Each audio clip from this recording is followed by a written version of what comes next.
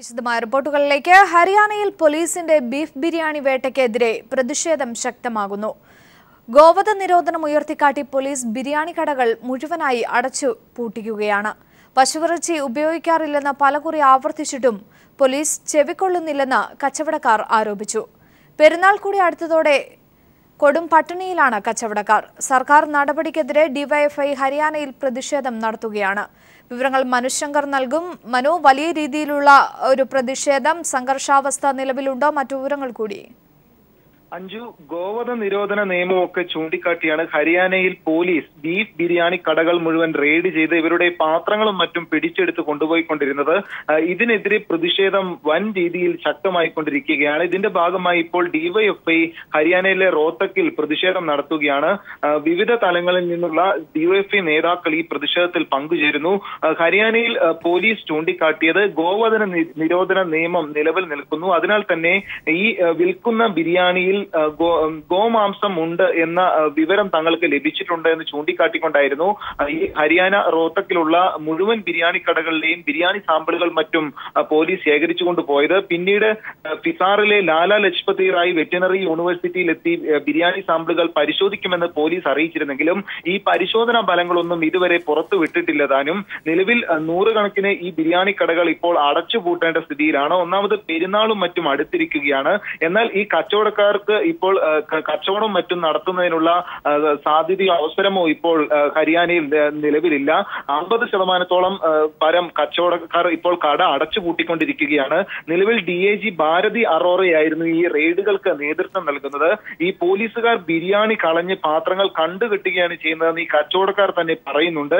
നിലവിൽ ഗോമാംസവും പറ്റും തങ്ങളുടെ ബിരിയാണിയിൽ ഉൾപ്പെടുത്താറില്ല. പകരം കോഴിയിറച്ചിയും അതോടൊപ്പം പോത്തിറച്ചിയും മറ്റുമാണ് തങ്ങൾ ഉപയോഗിക്കാറുള്ളതെന്ന് ഈ കച്ചവടക്കാർ തന്നെ വ്യക്തമാക്കുന്നുണ്ട്. എന്നാൽ ഇതൊന്നും ചെവി കൊള്ളാൻ പോലീസ് തയ്യാറാകാറില്ലെന്നും ഈ കച്ചവടക്കാർ ചൂണ്ടിക്കാട്ടുന്നു. നിലവിൽ അമ്പതിൽ പരം ബിരിയാണി പാത്രങ്ങൾ മാത്രം പിടിച്ചെടുത്തെന്ന് പല കച്ചവട ഉടമകളും മറ്റും പല മാധ്യമങ്ങളിലൂടെ വ്യക്തമാക്കുകയും ചെയ്തിരുന്നു. ഈ ഗോ ദൗത്യ സേനയുടെ ചുമതലയുള്ള ഡി എ ജി ചുമതലയുള്ളവർ ഡി എ ജിയുടെ പ്രവർത്തനത്തെ ന്യായീകരിക്കുകയും ചെയ്യുന്നുണ്ട്. എന്തായാലും പരാതികൾ വർദ്ധിച്ചെങ്കിലും പോലീസ് തിരച്ചിൽ മനു ഇതുവരെ ദയവായി തുടരുക. ഇപ്പോൾ മുഹമ്മദ് റിയാസ് കൂടി നമ്മോടൊപ്പം ടെലിഫോൺ ലൈനിൽ ചേരുകയാണ്. ശ്രീ മുഹമ്മദ് റിയാസ് ഹരിയാനയിൽ പോലീസിന്റെ ബീഫ് ബിരിയാണി വേട്ടക്കെതിരെ പ്രതിഷേധം ശക്തമാവുകയാണ്. ഗോവധ നിരോധനം ഉയർത്തിക്കാട്ടി പോലീസ് നൂറുകണക്കിന് ബിരിയാണി കടകളാണ് അടച്ചുപൂട്ടിയിരിക്കുന്നത്. ഏത് രീതിയിൽ പ്രതികരിക്കുന്നു? ഞങ്ങളിപ്പോ ഹരിയാനയിലാണ് ഉള്ളത്. ഹരിയാനയിൽ ഡിവൈഎഫ്ഐയുടെ നേതൃത്വത്തിൽ ശക്തമായ പ്രതിഷേധമാണ് ഇപ്പൊ രേഖപ്പെടുത്തിയിട്ടുള്ളത്. ശക്തമായ പ്രതിഷേധം ഞങ്ങൾ എല്ലാവരും പങ്കെടുത്തുകൊണ്ട് ഇപ്പൊ ഹരിയാനയിൽ നടന്നിരിക്കുകയാണ്. ഈ ഈദ് സമയത്ത് വളരെ ബോധപൂർവം മത സാമുദായികരണ ധ്രുവീകരണം സൃഷ്ടിക്കുവാനും ജനങ്ങൾക്കിടയിൽ പ്രത്യേകിച്ച് ന്യൂനപക്ഷ വിഭാഗങ്ങൾക്കിടയിൽ ഭീതിയും അരക്ഷിതാവസ്ഥയും സൃഷ്ടിക്കുവാനും വേണ്ടിയുള്ള ബോധപൂർവമായ ഇടപെടലാണ് നടന്നു വരുന്നത്. ഗോരക്ഷാ സമിതിയുടെ പേരിൽ നടക്കുന്ന ഇത്തരം കാടത്തത്തിനെതിരെ ഒരു നിലപാട് കൈക്കൊള്ളാൻ നേരത്തെ തന്നെ കേന്ദ്ര സർക്കാർ തയ്യാറാകുന്നില്ല. ഇവിടെ ഹരിയാന സർക്കാരിന്റെ ഹരിയാനയിലെ ബി സർക്കാരിന്റെ തണലിലാണ് ഇത്തരം പ്രവർത്തനങ്ങൾ നടന്നു വരുന്നത്. വരാൻ വേണ്ടി പോകുന്ന ഉത്തർപ്രദേശ് തെരഞ്ഞെടുപ്പിൽ ജനവിരുദ്ധ നയങ്ങൾ ചർച്ച ചെയ്യപ്പെട്ടാൽ ബി ജെ പിയുടെ അഡ്രസ് ഉണ്ടാകില്ല വോട്ടെണ്ണിയൽ എന്നുള്ള തിരിച്ചറിവാണ് വീണ്ടും. ഇത്തരത്തിലുള്ള ഗോവതവുമായി ബന്ധപ്പെട്ട വിഷയങ്ങൾ ക്യാമ്പയിനായി ഏറ്റെടുത്ത് മതസ്പർദ്ധയും സാമുദായിക ധ്രുവീകരണവും അസഹിഷ്ണുതയും പ്രചരിപ്പിച്ച് അജണ്ടയെ വഴിമാറ്റുക എന്നുള്ള ലക്ഷ്യത്തിന്റെ ഭാഗമായി ഇത്തരം പ്രവർത്തനം നടത്തുന്നത് ഇവിടെ ഞങ്ങൾ ഡിവൈഎഫ്ഐയുടെ നേതൃത്വത്തിൽ ശക്തമായ പ്രതിഷേധമാണ് ഇപ്പൊ രേഖപ്പെടുത്തിയിട്ടുള്ളത്. ശക്തമായ പ്രതിഷേധം രേഖപ്പെടുത്തുമ്പോൾ ഡിവൈഎഫ്ഐയോടൊപ്പം ഈ പ്രദേശത്തെ നല്ലവരായ മതനിരപേക്ഷ മനസ്സുകളും അസഹിഷ്ണുതക്കെതിരെ നിലപാട് കൈക്കൊള്ളുവാൻ തയ്യാറായ ആളുകളും ഉൾപ്പെടെ ഞങ്ങളുടെ പ്രതിഷേധത്തിൽ പങ്കെടുത്തിരിക്കുകയാണ്. അതുകൊണ്ട് തന്നെ ഡിവൈഎഫ്ഐ പെട്ടെന്ന് സംഘടിപ്പിച്ച ഈ പ്രതിഷേധത്തിൽ പ്രതിഷേധത്തിൽ വമ്പിച്ച രീതിയിലേക്കുള്ള പിന്തുണ ഈ മുദ്രാവാക്യത്തോടൊപ്പം ജനങ്ങൾ അണിനിരക്കുന്നു എന്നുള്ളതിന്റെ തെളിവാണ്. ഇത് തുടർന്നും ഹരിയാന സംസ്ഥാനത്താകെ ഡിവൈഎഫ്ഐ ഏറ്റെടുത്ത് മുന്നോട്ട് പോകുന്നതായിരിക്കും. തീർച്ചയായും. ഇത് ആദ്യമായിട്ടല്ല ഇങ്ങനെ ഒരു സംഭവം. ഹരിയാനയിൽ ഉത്തരേന്ത്യൻ ഉത്തരേന്ത്യയിലടക്കം ഇത്തരം സംഭവങ്ങൾ ഉണ്ടാകുന്നത് പ്രത്യേകിച്ച് ഈ പെരുന്നാൾ അടുത്തിരിക്കുന്ന ഒരു സാഹചര്യത്തിൽ നൂറിലധികം ബിരിയാണി കടകൾ അടച്ചുപൂട്ടുക തികച്ചും പോലീസിന്റെ കാടത്തപരമായ ഒരു നടപടി. ഇതിനെ ശക്തമായി എതിർക്കേണ്ട ഒരു മുൻകരുതൽ. അത് കണക്കിലെടുത്തുകൊണ്ട് ആണ് നിങ്ങൾ അവിടെ എത്തിയിരിക്കുന്നത്. അത് ഏത് രീതിയിലുള്ള പ്രതിഷേധത്തിലേക്കാണ് എത്തിയിരിക്കുന്നത്? ഡിവൈഎഫ്ഐ ദേശീയ നേതൃത്വം തന്നെ വളരെ ഗൗരവത്തോടു കൂടിയാണ് കേന്ദ്ര മോഡി സർക്കാരിന്റെ നിലപാടിനെയും അതിന്റെ തണലിൽ ഹരിയാനയിലെ സംസ്ഥാന സർക്കാരിന്റെ നിലപാടിനെയും കണ്ടിട്ടുള്ളത്. അതിന്റെ ഭാഗമായി തന്നെ വളരെ ഗൗരവത്തോടു കൂടി ഈ വിഷയത്തെ കണ്ടുകൊണ്ട് ഡിവൈഎഫ്ഐ തന്നെ ഓർത്തിണക്കാവുന്ന മുഴുവൻ ആളുകളെയും യോജിപ്പിച്ചുകൊണ്ട് ഇതിനെതിരെയുള്ള പ്രതിഷേധം ഉത്തരേന്ത്യയിലാകെ ശക്തിപ്പെടുത്താനുള്ള തുടക്കമാണ്. ഇതിന് എല്ലാ യുവജന സംഘടനകളുമായി കൈകോർത്തുകൊണ്ട് പ്രക്ഷോഭം സംഘടിപ്പിക്കും. ഹരിയാനയിൽ ഡിവൈഎഫ്ഐ ഇത്തരത്തിലുള്ള പ്രക്ഷോഭം സംഘടിപ്പിക്കുമ്പോൾ ഈ അടുത്ത കാലത്തൊന്നും ഇല്ലാത്ത രീതിയിലേക്കുള്ള യുവജന പങ്കാളിത്തം ഈ പ്രക്ഷോഭത്തിൽ കൊണ്ടുവരാൻ പെട്ടെന്ന് തീരുമാനിച്ച ഞങ്ങൾ ഇന്നലെ വൈകിട്ടാണ് തീരുമാനിച്ചത് പെട്ടെന്ന് തീരുമാനിച്ച പ്രക്ഷോഭത്തിൽ സാധിച്ചു എന്നുള്ളത് തന്നെ ഈ ക്യാമ്പയിനോടൊപ്പം ജനങ്ങളുണ്ട് എന്നുള്ളതിന്റെ ഏറ്റവും വലിയ തെളിവാണ്. തീർച്ചയായും വളരെയധികം നന്ദി ശ്രീ മുഹമ്മദ് റിയാസ് ഈ അവസരത്തിൽ പ്രതികരിച്ചതിന്. ഹരിയാനയിൽ ഏതാണ്ട് നൂറുകണക്കിന് ബീഫ് ബിരിയാണി കടകൾ പോലീസ് അടച്ചുപൂട്ടിയിരിക്കുന്നു. അതിനെതിരെ ശക്തമായ പ്രതിഷേധം അലയടിക്കുകയാണ്. ഡിവൈഎഫ്ഐയുടെ നേതൃത്വത്തിൽ വലിയ രീതിയിലുള്ള ഒരു പ്രതിഷേധം ഉയർന്നിരിക്കുന്നു.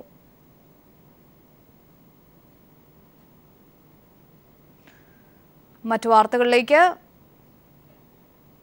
മുൻ മന്ത്രി കെ ബാബുവിനെതിരായ കേസിൽ അന്വേഷണ സംഘം വിപുലീകരിച്ചു. സംഘത്തിൽ ഡിവൈഎസ്പി വേണുഗോപാലിനെയും മൂന്ന് സിഐമാരെയും ഉൾപ്പെടുത്തി ഒരു സംഘം ബാബുവിന്റെ ഭൂമി ഇടപാടുകൾ അന്വേഷിക്കാൻ തമിഴ്നാട്ടിലേക്ക് പോകും.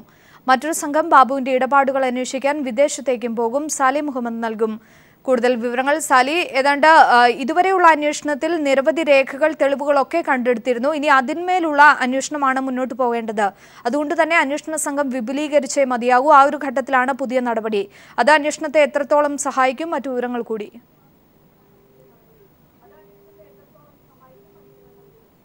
അഞ്ചു ഏതാണ്ട് ഇരുന്നൂറിലധികം രേഖകൾ കഴിഞ്ഞ കുറേ ദിവസങ്ങളായി വിവിധ ഇടങ്ങളിൽ നടത്തിയ പരിശോധനകളിലും ബാങ്ക് രേഖാ പരിശോധനകളിൽ നിന്നൊക്കെ വിജിലൻസിന് ലഭിച്ചിട്ടുണ്ട്. അതിൽ നിന്നാണ് അസ്വാഭാവികമായത് പലതും നടന്നിട്ടുണ്ട് എന്ന നിഗമനത്തിലേക്ക് വിജിലൻസ് എത്തിയത്.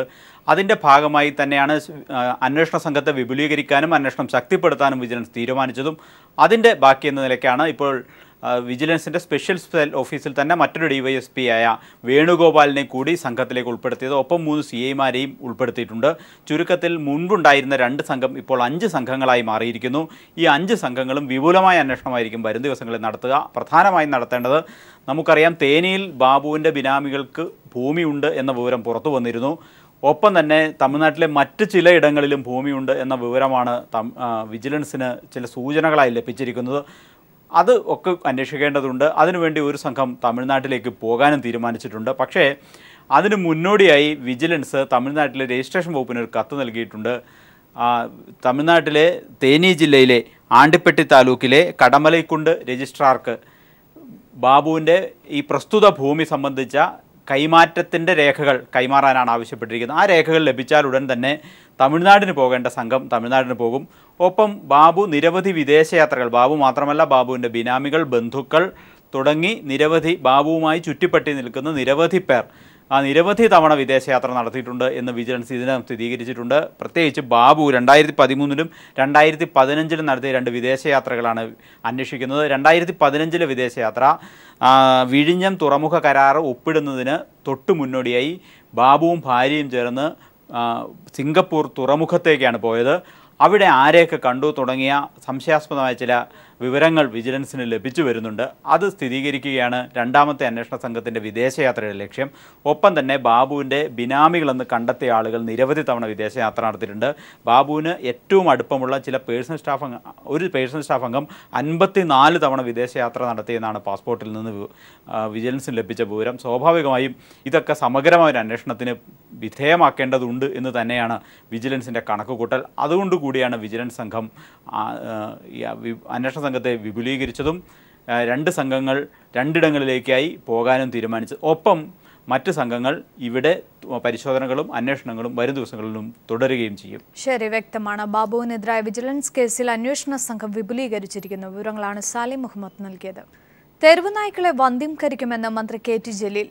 എല്ലാ ബ്ലോക്കുകളിലും മൂന്ന് വന്ധ്യംകരണ യൂണിറ്റുകൾ ആരംഭിക്കുമെന്നും വന്ധ്യംകരണത്തിന് ആവശ്യമായ തുക തദ്ദേശ സ്ഥാപനങ്ങൾക്ക് നൽകുമെന്നും അദ്ദേഹം പറഞ്ഞു. നിലവിലുള്ള നിയമം തന്നെ അതിനനുശാസിക്കുന്നുണ്ട്.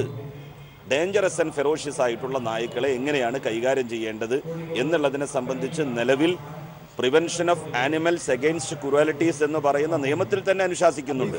സുപ്രീം കോടതിയിലെ സത്യവാങ്മൂലം അറിഞ്ഞിരുന്നു. പക്ഷേ അത് കൊടുക്കുന്ന ആളുകൾ നിലവിൽ ഒരുപാട് നിയമങ്ങളുണ്ട്. ആ നിയമക്കുരുക്കിൽ പോയി പെടേണ്ട എന്ന് ഭയപ്പെട്ടത് കൊണ്ടാവാം ഇത് കൊടുക്കുന്ന ആളുകൾ അങ്ങനെ കൊടുക്കുന്നത്. പക്ഷേ നമ്മുടെ നാട്ടിൽ ഇപ്പോൾ ഫെറോഷ്യസ് ആൻഡ് ഡേഞ്ചറസ് ആയിട്ടുള്ള നായ്ക്കളെ ആളുകൾ തന്നെ തദ്ദേശ സ്വയംഭരണ സ്ഥാപനങ്ങൾ അവർക്ക് കഴിയുന്നത് പോലെയും ആളുകൾ അവർക്ക് കഴിയുന്നത് പോലെയും ഒക്കെ നേരിട്ടുകൊണ്ടിരിക്കുന്നുണ്ട്. ഇതിന് ശാശ്വത പരിഹാരം എന്ന് പറയുന്നത് സ്റ്റെറിലൈസേഷനാണ് എ ടി എമ്മിൽ പണമില്ലെന്ന വ്യാപക പരാതി ഉയർന്നതിനെ തുടർന്ന് സർക്കാർ ഇടപെടുന്നു. അടിയന്തരമായി എ ടി എമ്മുകളിൽ പണം നിറയ്ക്കണമെന്ന് സർക്കാർ നിർദ്ദേശം നൽകി. സ്റ്റേറ്റ് ലെവൽ ബാങ്കേഴ്സ് സമിതിക്കാണ് സർക്കാർ നിർദ്ദേശം നൽകിയത്. ഓണം പ്രമാണിച്ച് തുടർച്ചയായ ബാങ്ക് അവധി ഉണ്ടായതിനാലും എ ടി എം പ്രവർത്തനം പല സ്ഥലത്തും സ്തംഭിച്ച മട്ടാണ്. ജനങ്ങളിൽ നിന്ന് വ്യാപക പരാതി ഉയർന്നതിനെ തുടർന്നാണ് സർക്കാർ ഇടപെടൽ.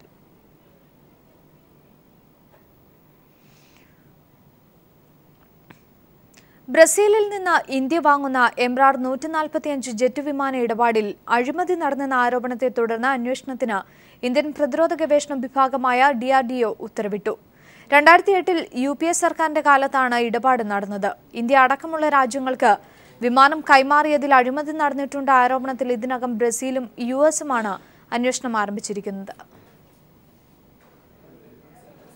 എ കെ ആന്റണി പ്രതിരോധ മന്ത്രിയായിരുന്ന കാലത്തെ ജെറ്റ് വിമാന ഇടപാടിൽ വൻ അഴിമതി നടന്നിരുന്നുവെന്നാണ് Brazilian പത്രമായ Folha de São Paulo report ചെയ്തത്. രണ്ടായിരത്തി എട്ടിൽ യു പി എ സർക്കാരിന്റെ കാലത്താണ് ഇടപാട് നടന്നത്. കരാർ പ്രകാരം രണ്ട് വിമാനങ്ങൾ ഇന്ത്യയ്ക്ക് ബ്രസീൽ കൈമാറിയിരുന്നു. മറ്റുള്ള ഒരെണ്ണം പിന്നീട് ഇന്ത്യയ്ക്ക് കൈമാറാനും തീരുമാനിച്ചു. ഇന്ത്യ ഈ വിമാനങ്ങൾ വാങ്ങിയത് ഇരുന്നൂറ്റിയെട്ട് മില്യൺ ഡോളറിനാണ്. ഇതേ വിമാനങ്ങൾ ഡൊമിനിക്കൻ റിപ്പബ്ലിക് വാങ്ങിയതാകട്ടെ തൊണ്ണൂറ്റിനാല് മില്യൺ ഡോളറിനും. ഇതിൽ ഡൊമിനിക്കൻ റിപ്പബ്ലിക് തന്നെ സംശയം പ്രകടിപ്പിച്ചതോടെയാണ് അന്വേഷണത്തിന് വഴിവെച്ചത്. നേരത്തെ ഇന്ത്യ അടക്കമുള്ള രാജ്യങ്ങൾക്ക് വിമാനം കൈമാറിയതിൽ അഴിമതി നടന്നിട്ടുണ്ടെന്ന ആരോപണത്തിൽ ഇതിനകം ബ്രസീലിലും യു എസിലും അന്വേഷണം ആരംഭിച്ചിരുന്നു. ഇന്ത്യയുമായി ഇടപാട് നടത്താൻ ഒരു ഇടനിലക്കാരൻ വൻതുക കമ്മീഷൻ വാങ്ങിയതായും പത്രം ആരോപിക്കുന്നു.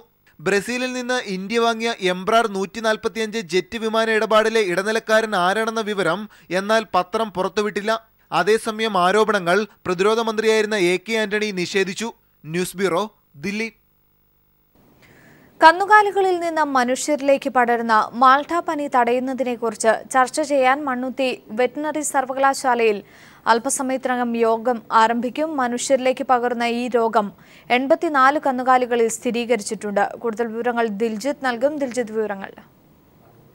അഞ്ചു മാൾട്ടാപ്പനി ബാധിച്ച എൺപത്തിനാല് കന്നുകാലികളെ ദയാവധം നടത്തുന്നത് സംബന്ധിച്ചുള്ള കാര്യങ്ങൾ തീരുമാനമെടുക്കാനാണ് ഇപ്പോൾ വെറ്റിനറി സർവകലാശാലയിൽ യോഗം ആരംഭിച്ചിരിക്കുന്നത്. വെറ്റിനറി സർവകലാശാല രജിസ്ട്രാർ ഡോക്ടർ ജോസഫ് മാത്യുവിന്റെ നേതൃത്വത്തിൽ മൃഗസംരക്ഷണ വകുപ്പിലെ ഉദ്യോഗസ്ഥരും മറ്റ് വെറ്റിനറി സയൻസ് വിദഗ്ധരും എല്ലാം ഉൾപ്പെടെ ഏഴ് അംഗസംഘമാണ് ഇപ്പോൾ യോഗം ആരംഭിച്ചത്. മറ്റ് മൈക്രോബയോളജി വിഭാഗങ്ങളിലെ മറ്റ് പ്രൊഫസർമാരും മറ്റും ഓൺലൈനിൽ ഈ ചർച്ചയിൽ പങ്കെടുക്കുന്നുണ്ട്.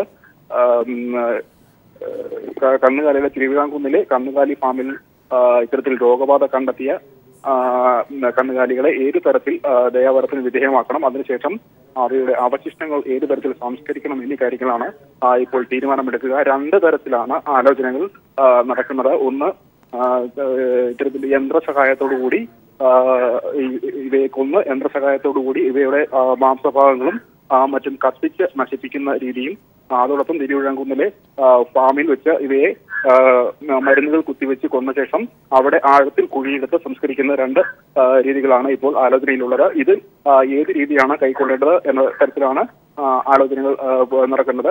ഏതായാലും അരമണിക്കൂറിനുള്ളിൽ തന്നെ ഇക്കാര്യത്തിൽ തീരുമാനമാകുമെന്നാണ് അറിയുന്നത്. ശരി ദിൽജിത്താണ് വിവരങ്ങൾ നൽകിയത്.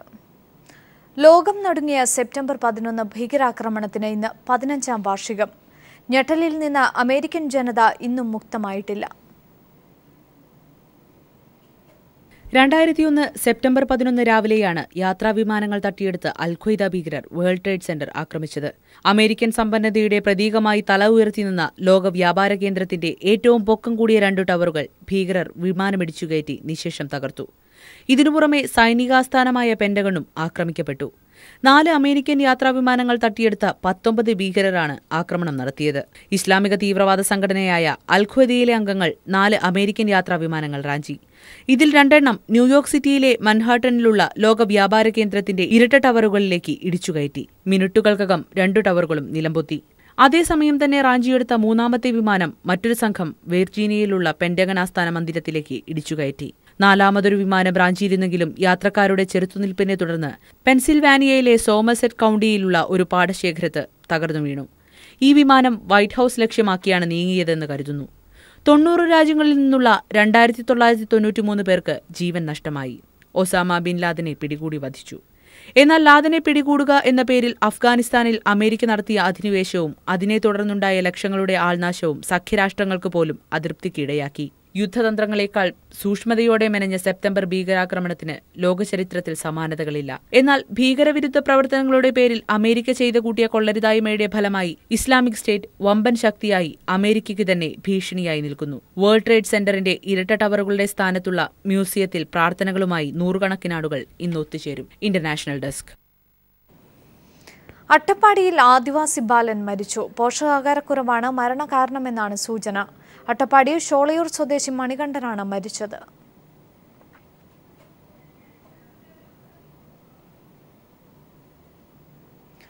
പാലക്കാട് കഞ്ചിക്കോടുണ്ടായ വാഹനാപകടത്തിൽ രണ്ടുപേർ മരിച്ചു. തിരുവനന്തപുരം സ്വദേശി സുധീർ കർണാടക സ്വദേശി ഗിരീഷ് എന്നിവരാണ് മരിച്ചത്. തിരുവനന്തപുരത്ത് നിന്ന് ബംഗളൂരുവിലേക്ക് പോവുകയായിരുന്ന സ്വകാര്യ ബസ് ലോറിയുമായി കൂട്ടിയിടിച്ചാണ് അപകടമുണ്ടായത്. പുലർച്ചെ മൂന്നരയോടെ നടന്ന അപകടത്തിൽ ഗുരുതരമായി പരിക്കേറ്റ മൂന്നുപേരെ തൃശൂർ മെഡിക്കൽ കോളേജിലേക്ക് മാറ്റി. പൊതുമരാമത്ത് മന്ത്രി ജി സുധാകരന്റെ മാതാവ് പങ്കജാക്ഷിയമ്മ അന്തരിച്ചു. പുലർച്ചെ ആറു മണിയോടെ പരുമല ആശുപത്രിയിലായിരുന്നു അന്ത്യം. കഴിഞ്ഞ ഒരാഴ്ചയായി ചികിത്സയിലായിരുന്നു. വൈകിട്ട് നാല് മുപ്പതിന് കായംകുളത്തെ വീട്ടുവളപ്പിലാണ് സംസ്കാരം.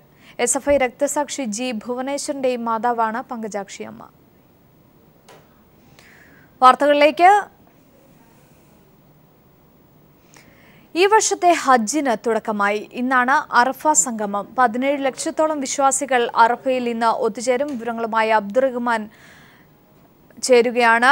അബ്ദുറഹ്മാൻ ഹജ്ജിന്റെ ഏറ്റവും സുപ്രധാനമായ ദിനം വലിയ തിരക്കാണ് അനുഭവപ്പെടുന്നത്. മറ്റു വിവരങ്ങൾ കൂടി. വിശുദ്ധ ഹജ്ജിന്റെ മുഖ്യ ചടങ്ങായ അറഫ സംഗമം ആരംഭിച്ചു. ഇന്ന് മീനായിൽ തമ്പുകൾക്കുള്ളിൽ തൽബിയത്ത് മന്ത്രധ്വനികളാൽ മുഖരിതമാക്കിയ ഹാജിമാർ പുലരുന്നതിന് മുമ്പ് തന്നെ കൂട്ടം കൂട്ടമായി അറഫയെ ലക്ഷ്യമാക്കി നീങ്ങി തുടങ്ങി പതിനേഴ് ലക്ഷത്തോളം പേർ അറഫയിൽ എത്തിയതാണ് കണക്കാക്കുന്നത്. ഇന്ത്യൻ ഹാജിമാർ രാവിലെ തന്നെ അറഫയിൽ എത്തിച്ചേർന്നു. അറുപത്തയ്യായിരം പേർ മഷായർ തീവണ്ടികളിലും മുപ്പത്തയ്യായിരം പേർ ബസ്സുകളിലുമായിട്ടാണ് മിനായിൽ നിന്നും പതിനാല് കിലോമീറ്റർ അകലെയുള്ള അറഫയിൽ എത്തിയത്. ഇന്ന് അറഫയിൽ മസ്ജിദ് നമീറയിൽ ലുഹർ നമസ്കാരവും അസർ നമസ്കാരവും ഒന്നിച്ചും ചുരുക്കിയും നമസ്കരിക്കും. പതിറ്റാണ്ടുകളായി അറഫയിലെ പ്രാർത്ഥനക്കും നമസ്കാരത്തിനും നേതൃത്വം നൽകിയിരുന്ന Saudi Grand Mufti Sheikh Abdul Aziz Al Sheikh ആരോഗ്യസ്ഥിതി മോശമായതിനാൽ ഇപ്രാവശ്യത്തെ അറഫ പ്രാർത്ഥനയ്ക്ക് നേതൃത്വം നൽകില്ല. മതകാര്യ വകുപ്പിന്റെ ഉന്നത ഉദ്യോഗസ്ഥരോ മക്ക ഹറം ഇമാമോ ആയിരിക്കും ഇപ്രാവശ്യത്തെ നമസ്കാരത്തിന് നേതൃത്വം നൽകുക. സൂര്യൻ അസ്തമിക്കുന്നതിന് മുമ്പായി അറഫയിൽ നിന്നും നിറകണ്ണുകളോടെ പ്രാർത്ഥനയിൽ നീങ്ങുന്ന തീർത്ഥാടകർ അസ്തമയ ശേഷം നവജാത ശിശുവിന്റെ ഹൃദയ നൈർമല്യത്തോടുകൂടെ മുസ്തലിഫയിലേക്ക് മടങ്ങും. രാത്രി മുസ്തലിഫയിൽ തങ്ങി പിന്നീടുള്ള മൂന്ന് ദിവസങ്ങളിൽ ജംറകളിൽ എറിയുവാനുള്ള ചെറിയ കല്ലുകൾ പെറുക്കിയാണ് മിനായിലേക്ക് തിരിക്കുക. സൗദിയിൽ നാളെയാണ് ബലി പെരുന്നാൾ കഴിഞ്ഞ വർഷത്തെ മിന അപകടത്തെ മുൻനിർത്തി പുണ്യസ്ഥലങ്ങളിലെല്ലാം ശക്തമായ സുരക്ഷാ സംവിധാനമാണ് സൗദി ഭരണകൂടം ഒരുക്കിയിട്ടുള്ളത്. അനുമതി പത്രമില്ലാതെ ആരെയും ഇപ്രാവശ്യം മക്കയിലേക്കോ പുണ്യസ്ഥലങ്ങളിലേക്കോ പ്രവേശിപ്പിച്ചിട്ടില്ല. മക്ക മസ്ജിദ് ഹറമിന്റെ ആവരണമായ കില്ല ഇന്ന് രാവിലെ മാറ്റി പുതിയ കില്ല പുതപ്പിച്ചു. വർഷത്തിൽ രണ്ട് പ്രാവശ്യമാണ് ഹറമിന്റെ ആവരണം പുതുക്കിയണിയിക്കുന്നത് വ്യക്തമാണ്. വിശുദ്ധ ഹജ്ജിന്റെ സുപ്രധാന ദിനമായ അറഫ സംഗമം ആരംഭിച്ചു കഴിഞ്ഞിരിക്കുന്ന. വിവരങ്ങളാണ് അബ്ദുറഹ്മാൻ വണ്ടൂർ നൽകിയത്. മറ്റു വാർത്തകളിലേക്ക്. കശുവണ്ടി ഫാക്ടറികൾ തുറക്കണമെന്നാവശ്യപ്പെട്ട് Kollam Vijayalakshmi factory head office C P I M C I T U നേതാക്കന്മാരും എം എൽ എമാരും കൊല്ലം മേയർ ഉൾപ്പെടെയുള്ളവരും ഉപരോധിച്ചു. പന്ത്രണ്ടായിരം തൊഴിലാളികളാണ് വി എൽ സിയിൽ മാത്രം പണിയെടുക്കുന്നത്. സമരം കണ്ടില്ലെന്ന് നടിച്ചാൽ തൊഴിലാളികളെ ഹെഡ് ഓഫീസിന് മുമ്പിൽ എത്തിക്കുമെന്ന് കെ എൻ ബാലഗോപാൽ മുന്നറിയിപ്പ് നൽകി. പ്രതിഷേധക്കാരെ പോലീസ് അറസ്റ്റ് ചെയ്തു നീക്കി. തീയതി മുതൽ ബി എൽ സി ഹെഡ് ഓഫീസിന് മുമ്പിൽ സ്റ്റാഫ് യൂണിയൻ സി എച്ച് യുവിന്റെ നേതൃത്വത്തിൽ ജീവനക്കാർ സമരം നടത്തി വരികയായിരുന്നു ഓണമെത്തിയിട്ടും ഫാക്ടറി തുറക്കുകയോ ബോണസ് സംബന്ധിച്ച് ചർച്ച നടത്താൻ തയ്യാറാകാത്തതിനെയും തുടർന്നാണ് സമരം ഉപരോധമായി മാറ്റിയത്. ഫാക്ടറികൾക്ക് മുമ്പിൽ തൊഴിലാളികൾ സമരം നടത്തുന്നുണ്ട്. ഈ സാഹചര്യത്തിലാണ് C P I M Kollam ജില്ലാ സെക്രട്ടറി കെ എൻ ബാലഗോപാലും എം എൽ എമാരായ മുകേഷ് നൌഷാദ് കൊല്ലം മേയർ രാജേന്ദ്രബാബു കാപെക്സ് ചെയർമാൻ സുധേവൻ തുടങ്ങിയവരുടെ നേതൃത്വത്തിൽ വി എൽ സി ഓഫീസ് ഉപരോധിച്ചത്. ആയിരം കോടി രൂപ ഒരു വർഷം ടേൺ ഓവർ ഉള്ള ഒരു കമ്പനിയിൽ കിട്ടുന്ന ലാഭത്തിന്റെ നല്ലൊരു പങ്ക് ഈ തൊഴിലാളികൾക്ക് തൊഴിലാളികളുടെ അധ്വാനമാണല്ലോ അതിന് കാരണം. ആ തൊഴിലാളികൾക്ക് കിട്ടേണ്ട ആനുകൂല്യം കൊടുക്കണം ഫാക്ടറി തുറന്ന് പ്രവർത്തിപ്പിക്കണം. പതിനായിരത്തിലധികം തൊഴിലാളികൾ പണിയെടുക്കുന്ന ഫാക്ടറിയിൽ നിങ്ങൾ ആലോചിക്കണം. കഴിഞ്ഞ കുറെ കാലമായിട്ട് അവർക്ക് ഒരു പൈസ പോലും കിട്ടിയിട്ടില്ല തൊഴിലാളികൾ പ്രതിഷേധക്കാരെ പോലീസ് അറസ്റ്റ് ചെയ്ത് നീക്കി. നാൽപ്പതിനായിരം തൊഴിലാളികളാണ് വിവിധ സ്വകാര്യ ഫാക്ടറികളിൽ അടച്ചിട്ടതിനെ തുടർന്ന് പട്ടിണിയിലായത്. സമരം കൂടുതൽ ശക്തമാക്കാനാണ് തൊഴിലാളികളുടെ തീരുമാനം. News bureau Kollam. സംബന്ധിച്ച് സ്കൂളുകളിൽ സൗജന്യ അരി വിതരണം ചെയ്യുന്നത് മുടങ്ങിയെന്ന പ്രചരണം അടിസ്ഥാനരഹിതമെന്ന് ഭക്ഷ്യവകുപ്പ് മന്ത്രി പി തിലോത്തമൻ ഏഴ് ജില്ലകളിൽ അരി വിതരണം പൂർത്തിയായി. മറ്റിടങ്ങളിൽ ഇന്നത്തോടെ അരി വിതരണം പൂർത്തിയാകുമെന്നും മന്ത്രി വ്യക്തമാക്കി. സ്കൂളുകളിൽ ഓണത്തോടനുബന്ധിച്ചുള്ള സൗജന്യ അരി വിതരണം മുടങ്ങിയെന്ന് ചില മാധ്യമങ്ങളിൽ വാർത്ത വന്ന സാഹചര്യത്തിലാണ് ഭക്ഷ്യവകുപ്പ് മന്ത്രി പി തിലോത്തമന്റെ വിശദീകരണം. ഏഴ് ജില്ലകളിൽ അരി വിതരണം പൂർത്തിയായി എന്നാണ്. മറ്റു ജില്ലകളിലും പൂർത്തിയായിക്കൊണ്ടിരിക്കുകയാണ്. ഒരു സ്ഥലത്തു നിന്നും ഒരു പരാതിയോ ഒരു ആക്ഷേപമോ ഇത് സംബന്ധിച്ച് ഉണ്ടായിട്ടില്ല. അരി ലഭ്യതാ പ്രശ്നം നേരത്തെ ആശങ്കയുണ്ടാക്കിയിരുന്നുവെങ്കിലും നിലവിൽ പ്രശ്നങ്ങളില്ലെന്നും മന്ത്രി വ്യക്തമാക്കി. അരിയുടെ ലഭ്യത പ്രശ്നം ആദ്യം ചില ആശങ്കകൾ ഉണ്ടാക്കി എങ്കിലും അവസാനമാകുമ്പോഴൊക്കെ ഏതാണ്ട് ഫലപ്രദമായ വിതരണം പൂർത്തിയാവുന്ന സ്ഥിതിയിലേക്കാണ് കാര്യങ്ങൾ പോയിക്കൊണ്ടിരിക്കുന്നത്. മറിച്ചുള്ള ആരോപണങ്ങളും ആക്ഷേപങ്ങളും തികച്ചും അടിസ്ഥാനരഹിതമാണ്. ഭക്ഷ്യ സിവിൽ സപ്ലൈസ് വകുപ്പും വിദ്യാഭ്യാസ വകുപ്പും ചേർന്ന് അഞ്ച് കിലോഗ്രാം അരിയാണ് ഓണത്തിന് സ്കൂൾ വിദ്യാർത്ഥികൾക്ക് സൗജന്യമായി നൽകുന്നത്. News bureau Thiruvananthapuram. പരവൂർ സ്വദേശികൾക്ക് ഇക്കുറി ഓണമില്ല. വെടിക്കെട്ട് ദുരന്തത്തിൽ കൊല്ലപ്പെട്ട നൂറ്റി പത്ത് പേരുടെ കുടുംബങ്ങൾക്കൊപ്പം പരവൂർ പൗരാവലിയും ഓണാഘോഷം ഉപേക്ഷിച്ചു. Paravur municipality D T P C ക്ലബ്ബുകൾ സഹകരണ ബാങ്കുകൾ തുടങ്ങിയ സ്ഥാപനങ്ങളും നാട്ടുകാരും പൊതുപ്രവർത്തകരും ഉൾപ്പെടെ ആർക്കും ഇക്കുറി ഓണമില്ല. തങ്ങളുടെ ബന്ധുക്കളെയും സുഹൃത്തുക്കളെയും നഷ്ടപ്പെട്ടതിന്റെ വേദനയിൽ നിന്നിപ്പോഴും പരവൂർകാർ മോചിതരായിട്ടുമില്ല. ഈ ഓണം വലിയ ഒരു ദുഃഖത്തിന്റെ നിഴലിലാണ് പരവരെ സംബന്ധിച്ച് ഈ കുറ്റിങ്ങൽ ദുരന്തവുമായി ബന്ധപ്പെട്ട അതിന്റെ കെടുതി അനുഭവിക്കുന്ന ആളുകൾ മഹാ ദുരന്തത്തിലാണ് ഇപ്പോൾ നിൽക്കുന്നത്. പരവൂർ പൗരാവലി ഓണം ഉപേക്ഷിച്ചു? ഓണം പൂർണമായിട്ട് ഉപേക്ഷിച്ചിരിക്കുകയാണ്. ഓണാഘോഷവുമായി ബന്ധപ്പെട്ട വിവിധ പരിപാടികൾ സാധാരണ വിപുലമായ ഓണ പരിപാടികൾ നടക്കാറുണ്ട്. ഇക്കുറി അതെല്ലാം ഒഴിവാക്കിയിരിക്കുകയാണ്. ദുരന്തത്തിൽ ഗുരുതരമായി പരിക്കേറ്റ ഇതുവരെ അഞ്ചു തവണ ശസ്ത്രക്രിയയ്ക്ക് വിധേയനായ ബിനീഷിന് വിദ്യാഭ്യാസ വായ്പ തിരിച്ചടച്ചില്ലെന്നാരോപിച്ച് എസ് ബി ടി നോട്ടീസിന്റെ രൂപത്തിൽ ഓണസമ്മാനവും നൽകി. ഞാൻ ബി എസ് സി നഴ്സിംഗ് പഠിച്ചിറങ്ങിക്കായിരുന്നു ആ സമയത്ത് ഇപ്പോഴാണ് ഒരു ജോലി ഉടനെ കിട്ടിയത്. പിന്നെ അത് ബോംബെയിൽ ഒരു രണ്ട് മൂന്ന് മാസം വർക്ക് ചെയ്തേ ഉള്ളൂ. അതുമല്ല എഡ്യൂക്കേഷൻ ലോണിന്റെ റവന്യൂ റിക്കവറി ആയി. അപ്പോൾ അതൊരു ആ ഒരു ബുദ്ധിമുട്ടും പിന്നെ ചേച്ചി ഇങ്ങനെ മുമ്പോട്ട് പോകാൻ പറ്റും ഇച്ചിരി ബുദ്ധിമുട്ടാണ് കിടന്ന്. നമ്മളിവിടുത്തെ സംഘടനകളൊന്നും ഓണം ഇല്ലെന്നാണ് അറിയുന്നത്. നമുക്കെന്ത് ഓണം ഈ ഒരു അവസ്ഥയിൽ കിടന്നിട്ട്. ഇതിലും ദുരിതത്തിലും സങ്കടത്തിലും കഴിയുന്ന ദുരന്തഭൂമിയിലെ മാവേലിയുടെ ജനതയ്ക്ക് എല്ലാം മറക്കാൻ കാലങ്ങൾ തന്നെ താണ്ടേണ്ടി വരും. ഓണാഘോഷമാണെങ്കിലും ഉത്സവമാണെങ്കിലും ആഘോഷങ്ങൾ പരിധിവിട്ടാൽ എന്ത് സംഭവിക്കുമെന്നതിന്റെ ഏറ്റവും വലിയ ഉദാഹരണമാണ് പരവൂർ വെടിക്കെട്ട് ദുരന്തത്തിലെ നൂറ്റിപ്പത്ത് പേരുടെ ദാരുണ അന്ത്യം. മരിച്ചുപോയവരുടെ കുടുംബങ്ങൾ ഇന്ന് അനാഥമാണ്. അതേസമയം പരിക്കേറ്റ് കഴിയുന്നവരുടെ ജീവിതം ദുരിതപൂർണവുമാണ്. ആഘോഷങ്ങൾ അതിരുവിടുമ്പോൾ ഒരു നിമിഷം ഇവരെക്കുറിച്ച് ചിന്തിക്കുക. പരവൂരിൽ നിന്ന് ക്യാമറമാൻ പ്രമോദ് പന്നിയോടിനൊപ്പം രാജ്കുമാർ. ഓണം പിറന്നാലും ഉണ്ണി പിറന്നാലും കോരന് കുമ്പിളിൽ തന്നെ കഞ്ഞിയെന്ന് പറയുന്നത് പോലെയാണ് ശീതകാല പച്ചക്കറി കർഷകരുടെ അവസ്ഥ. ഇടനിലക്കാരെ ഒഴിവാക്കി ഹോർട്ടികോർപ്പ് നേരിട്ട് ഉൽപ്പന്നങ്ങൾ സംഭരിക്കുമെന്ന് കൃഷിമന്ത്രി പ്രഖ്യാപിച്ചിട്ടും സംഭരിക്കാൻ ഹോർട്ടികോർപ്പ് തയ്യാറാകാത്തതാണ് ഇടുക്കി കാന്തല്ലൂരിലെ കർഷകരെ ഈ ഓണനാളുകളിൽ വലയ്ക്കുന്നത്. ഹോർട്ടികോർപ്പിന്റെ നിരുത്തരവാദ പ്രവർത്തനത്തെ തുടർന്ന് ശീതകാല പച്ചക്കറിയുടെ വിളനിലമായ കാന്തല്ലൂർ വട്ടവട പ്രദേശങ്ങളിൽ സന്ദർശിച്ച കൃഷിമന്ത്രി വി എസ് സുനിൽകുമാറിന്റെ പ്രഖ്യാപനം ഇതായിരുന്നു. വെളുത്തുള്ളിയാണ് ഏറ്റവും പ്രധാനപ്പെട്ട ഒരു കാര്യം. ഇവിടെ ഉണ്ടാക്കുന്ന വെളുത്തുള്ളി ഏറ്റവും ക്വാളിറ്റിയുള്ള വെളുത്തുള്ളിയാണ്. അപ്പോൾ അത് പൂർണമായിട്ട് ആ വെളുത്തുള്ളി ഇവരുണ്ടാക്കുന്ന വെളുത്തുള്ളി നമുക്ക് സംഭരിക്കാൻ കഴിയുമോ? അങ്ങനെ കഴിയുന്നുണ്ടെങ്കിൽ അവർക്ക് വില കൊടുത്ത് സംഭരിക്കാനും അത് ഇതിന്റെ സാധ്യതകൾ എങ്ങനെയാണെങ്കിൽ പരിശോധിക്കണം. കഴിഞ്ഞ തവണ കൃഷി വകുപ്പ് കർഷകർക്ക് നൽകിയ ഗുണനിലവാരമില്ലാത്ത ക്യാരറ്റ് വിത്തുകൾ വരുത്തിയ വലിയ നാശമാണ് ഈ മേഖലയിലെ കൃഷിക്കാരെ വെളുത്തുള്ളി കൃഷിയിലേക്ക് വഴിതിരിച്ചു വിട്ടത് വിളവെടുപ്പ് ആരംഭിക്കുന്നതിന് മുൻപ് തന്നെ മുഴുവൻ വെളുത്തുള്ളിയും സംഭരിക്കുമെന്നാണ് ഹോർട്ടികോർപ്പ് കർഷകർക്ക് വാഗ്ദാനം നൽകിയത്. വിളവെടുപ്പിന്റെ ആദ്യ ദിനങ്ങളിൽ കിലോയ്ക്ക് നൂറ്റിനാൽപ്പത് രൂപ നൽകിയാണ് സംഭരണവും നടന്നത്. എന്നാൽ നാനൂറ് കിലോ വെളുത്തുള്ളി സംഭരിച്ച ശേഷം വെളുത്തുള്ളി വാങ്ങാൻ ഹോർട്ടിക്കോപ്പ് തയ്യാറാകാത്തതാണ് പുതിയ പ്രതിസന്ധിക്ക് കാരണം. മന്ത്രി വന്ന് ഉറപ്പ് പറഞ്ഞിരുന്നത് കേരളത്തിൽ ആവശ്യം പോലെ വെളുത്തുള്ളി എടുത്തോളാന്ന് പറഞ്ഞ കാരണം കൊണ്ടാണ് ഞങ്ങൾ വെളുത്തുള്ളി എടുത്തു വെച്ചത്. ഇപ്പോൾ അവർ ആവശ്യം പോലെ എടുക്കില്ല എന്ന് പറഞ്ഞ് അഞ്ച് ടണ്ണ് തന്നെ എടുക്കുള്ളൂ. ഇപ്പോൾ ആകെ ഞങ്ങളുടെ കൊത്തൂർ ഗ്രാമത്തിൽ വന്ന് മാത്രം എങ്ങനെയെങ്കിലും ഒരു നൂറ് ടണ്ണുക്കുള്ള വെളുത്തുള്ളി ഇവിടെ ഉണ്ട്. വീട്ടിലെടുത്ത് വെച്ച ഡെയിലിയും ഇട കുറഞ്ഞുകൊണ്ടേ ഇരിക്കുവാണ്. ആറ് ഇടക്കാർക്ക് ആളില്ല. ഹോർട്ടിക്കോപ്പ് വെളുത്തുള്ളി വാങ്ങാതെ വന്നതോടെ വിളവെടുത്ത വെളുത്തുള്ളി എവിടെ സംഭരിക്കണമെന്ന ആശങ്കയിലാണ് കർഷകർ. തമിഴ്നാട്ടിൽ നിന്നുള്ള ഇടനിലക്കാരെ ഒഴിവാക്കാനായിരുന്നു മന്ത്രിയുടെ ഇടപെടലെങ്കിൽ ഇടനിലക്കാരെ കർഷകരെ ചൂഷണം ചെയ്യാൻ ക്ഷണിച്ചു വരുത്തുന്ന നടപടിയാണ് ഹോർട്ടിക്കോപ്പ് സ്വീകരിക്കുന്നത്. News bureau Idukki.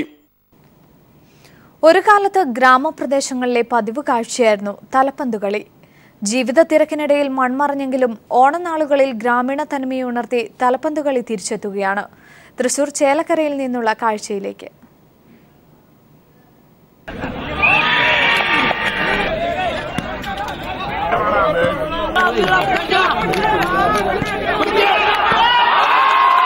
വോളിബോളിലെ സർവീസും ഫുട്ബോളിലെ കിക്കും ക്രിക്കറ്റിലെ ക്യാച്ചും എല്ലാമുണ്ട് തലപ്പന്ത് കളിക്ക്.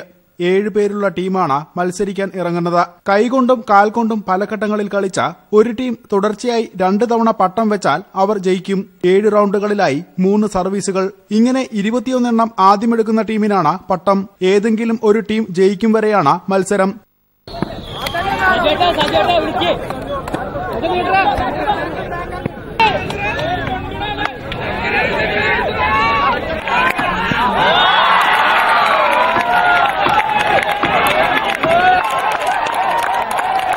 ജയത്തിനായി രണ്ട് ദിവസം വരെ കളി നീണ്ടുപോകാറുണ്ട് ഈ കാത്തിരിപ്പൊന്നും തലപ്പന്തുകളിയുടെ ആവേശം കുറയ്ക്കുന്നില്ല. ഓണക്കാലത്ത് ആയിരക്കണക്കിന് ആളുകളാണ് ഗ്രാമപ്രദേശങ്ങളിൽ കളി ആസ്വദിക്കാൻ എത്തുന്നത്. തലപ്പന്ത് കളിയും ഓണവും തമ്മിൽ എന്ത് ബന്ധമെന്ന് ആർക്കും അറിയില്ലെങ്കിലും തൃശൂർ ചേലക്കരക്കാർക്ക് തലപ്പന്ത് കളിയില്ലാതെ ഓണമില്ല. News bureau Thrissur. ഓണക്കാലമായാൽ ഏവർക്കും സുപരിചിതനായ ഒരു മാവേലിയുണ്ട് പത്തനംതിട്ട ജില്ലയിൽ. കഴിഞ്ഞ ഇരുപത് വർഷത്തിൽ അധികമായി മാവേലി വേഷം കെട്ടുന്ന സുനിലാണ് ആ വ്യക്തി. ചലച്ചിത്ര താരമായിരുന്ന അടൂർ പങ്കജത്തിന്റെ മരുമകൻ കൂടിയായ സുനിൽ ഒരു മികച്ച നാടക കലാകാരൻ കൂടിയാണ്. ഓണക്കാലമായാൽ അടൂർ സ്വദേശി സുനിൽ പിന്നെ ഇങ്ങനെയാണ്. രാവിലെ എഴുന്നേറ്റ് മാവേലി വേഷവും ധരിച്ച് ബൈക്കിൽ ടൗണിലേക്ക് ഇറങ്ങും. അടൂരും പന്തളവും കോഴഞ്ചേരിയുമൊക്കെ കറങ്ങി പത്തനംതിട്ടയിലെത്തിയപ്പോഴാണ് ഞങ്ങളുടെ ക്യാമറ കണ്ണിൽപ്പെട്ടത്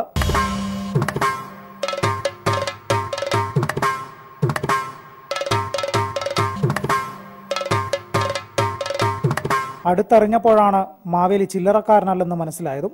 ചലച്ചിത്ര താരമായിരുന്ന അടൂർ പങ്കജത്തിന്റെ മരുമകനായ സുനിൽ കഴിഞ്ഞ ഇരുപത് വർഷത്തിലധികമായിട്ട് ഓണക്കാലത്ത് ഇതാണ് പരിപാടി.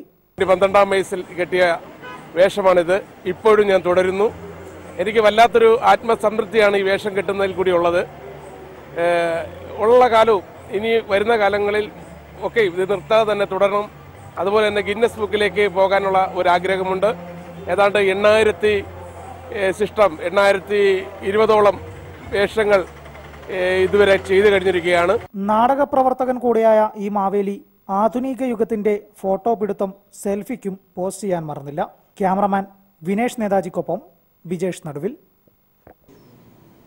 മാതാപിതാക്കളില്ലാതെ അനാഥത്വത്തിൽ ശിശുക്ഷേമ സമിതിയിൽ കഴിയുന്ന പിഞ്ചോമനകളും ഓണം ആഘോഷിച്ചു. മാവേലിയും വാമനനും ഊഞ്ഞാലുമെല്ലാം ഈ കുരുന്നുകൾക്ക് പുത്തൻ അനുഭവമാണ് പകർന്നു നൽകിയത്. ഓണക്കാലത്ത് ഓണക്കോടിയും ഓണക്കളികളും ഊഞ്ഞാലും പൂക്കളവുമെല്ലാം കുട്ടികൾക്ക് ആഹ്ലാദം പകരുന്നവയാണ്.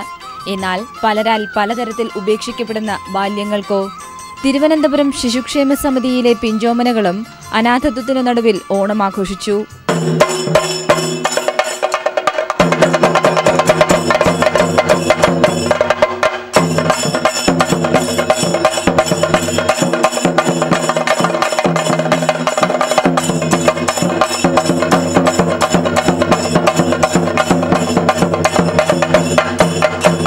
താളപ്പെരുമയുടെ അകമ്പടിയിൽ മാവേലിയും വാമനനും എത്തിയത് കുരുന്നുകൾക്ക് കൗതുകമായി. ആരോഗ്യമന്ത്രി കെ കെ ശൈലജയും എത്തി ഇവർക്കൊപ്പം ഓണം കൂടാൻ.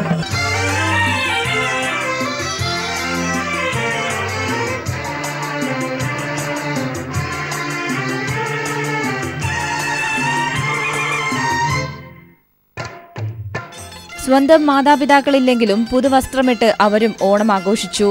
വിഭവസമൃദ്ധമായ ഓണസദ്യയ്ക്കായി മന്ത്രി കടകംപള്ളി സുരേന്ദ്രനും കുട്ടികൾക്കൊപ്പം കൂടി.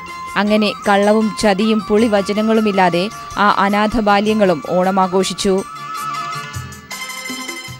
News bureau Thiruvananthapuram. കോഴിക്കോട് കാഴ്ചയില്ലാത്തവർക്ക് ഓണക്കിറ്റും ഓണപ്പുടവയും സമ്മാനിച്ചു. ഫെഡറേഷൻ ഓഫ് ദി ബ്ലൈൻഡിന്റെ ആഭിമുഖ്യത്തിലായിരുന്നു ചടങ്ങ്.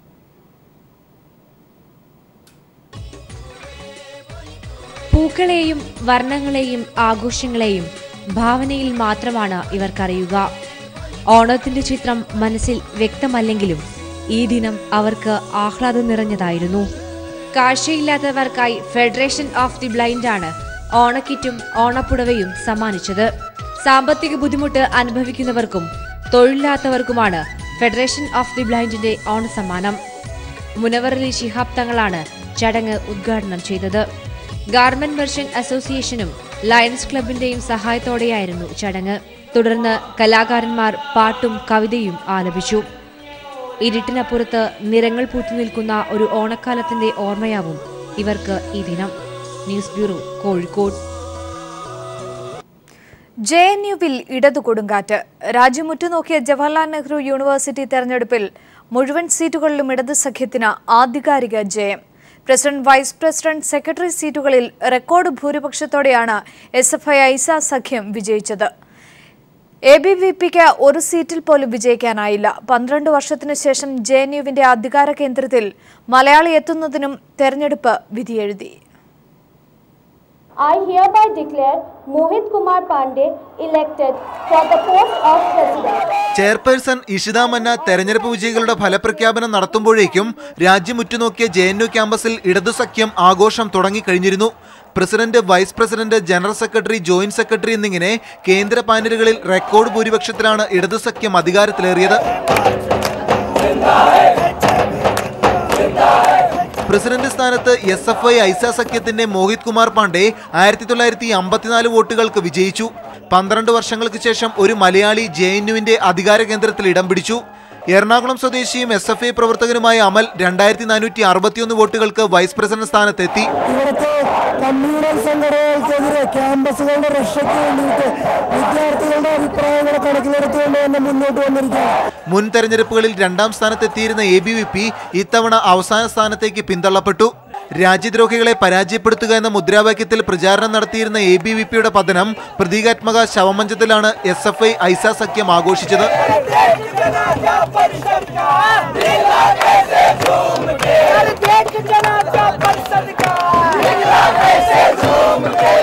കന്നയ്യടക്കമുള്ള വിദ്യാർത്ഥികൾ അറസ്റ്റിലായ ശേഷം ജെ നടന്ന ആദ്യ തെരഞ്ഞെടുപ്പായിരുന്നു ഇത്. കേന്ദ്ര സർക്കാരിന്റെ സർവകലാശാല ആക്രമണങ്ങൾക്ക് നേരെയുള്ള കനത്ത മറുപടിയാണിതെന്ന് കന്നയ്യയും പ്രതികരിച്ചു This is the victory of people of India, those who fought for the justice for JNU, those who are fighting for the justice for Rohit Pemula. This victory, victory is against the undemocratic forces like BJP and RSS. പതിനെട്ട് councillor സീറ്റുകളിൽ പതിനഞ്ചിനും S F I AISA സഖ്യം വിജയിച്ചു കന്നയമൊക്കെ ആസാദി മുദ്രാവാക്യം രാജ്യമൊട്ടാകെ ഏറ്റെടുത്തതിന് പിന്നാലെ J N യുവിൽ വൻ ഇടത് വിപ്ലവത്തിനാണ് സാക്ഷ്യം വഹിച്ചിരിക്കുന്നത് രാജ്യദ്രോഹികളെ പരാജയപ്പെടുത്തുക എന്ന എ ബി വി പി പ്രചാരണത്തിനും കേന്ദ്ര സർക്കാരിനും കനത്ത തിരിച്ചടി നൽകുന്നതായി ജെ എൻ യു വിദ്യാർത്ഥി തെരഞ്ഞെടുപ്പ് ഫലം cameraman Shailesh കലായിക്കൊപ്പം Manu Shankar news bureau Delhi C P I M Kovalam area കമ്മിറ്റിയുടെ നേതൃത്വത്തിൽ കൃഷി ചെയ്ത ജൈവ പച്ചക്കറികളുടെ വിളവെടുപ്പ് നടന്നു. തികച്ചും ജൈവ രീതിയിലെ കൃഷിമാർഗങ്ങൾ ഉപയോഗിച്ച ഒന്നര ഏക്കർ സ്ഥലത്ത് കൃഷി ചെയ്ത പതിനെട്ട് തരം പച്ചക്കറികളാണ് വിളവെടുത്തത്. ഒന്നര ഏക്കർ സ്ഥലത്ത് വെണ്ട കത്തിരി വെള്ളരിക്ക മുളക് ചേന പാവൽ പടവലമടക്കം പതിനെട്ട് തരം പച്ചക്കറികളാണ് കൃഷി ചെയ്തു വന്നിരുന്നത്. ഓണം പ്രമാണിച്ച് മാസങ്ങൾക്ക് മുമ്പ് വിത്ത് പാകിയ പച്ചക്കറികളുടെ വിളവെടുപ്പ് സി തിരുവനന്തപുരം ജില്ലാ സെക്രട്ടറി ആനാവൂർ നാഗപ്പൻ നിർവഹിച്ചു. അരിമാനൂർ സ്വദേശിയായ മോഹൻകുമാർ സൗജന്യ പാട്ടത്തിന് നൽകിയ ഭൂമിയിലാണ് സി കോവളം ഏരിയ കമ്മിറ്റി വിളവിറക്കിയത്. വിളവെടുത്ത പച്ചക്കറികൾ പൂവാർ കൃഷി ഓഫീസിന് കീഴിലെ പച്ചക്കറി കേന്ദ്രം ഏറ്റുവാങ്ങി. പുരാതന കാലം മുതൽ കൃഷിക്കാർ ഉപയോഗിച്ചു വന്നിരുന്ന ജൈവവളം ഉപയോഗിച്ചാണ് കൃഷി ചെയ്തിരുന്നത്. കൃഷികീടങ്ങളെ തുരത്താൻ സൂര്യകാന്തി ജമന്തി എള്ള് എന്നിവ കൃഷിത്തോട്ടത്തിന് ചുറ്റും നട്ടിരുന്നു. ജൈവ പച്ചക്കറി കൂടാതെ നെൽകൃഷി മേഖലയിലേക്കും ചുവടുവെക്കുകയാണ് C P I M Kovalam area committee.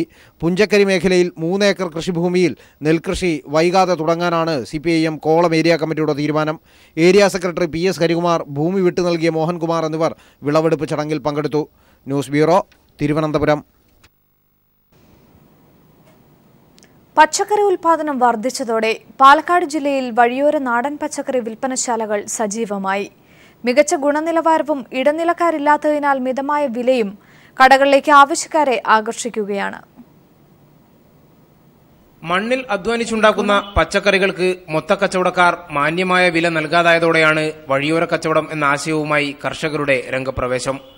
Palakkad ജില്ലയിലെ സംസ്ഥാന ദേശീയപാതകളിൽ നാടൻ പച്ചക്കറിക്കടകൾ സജീവമാണിന്ന്.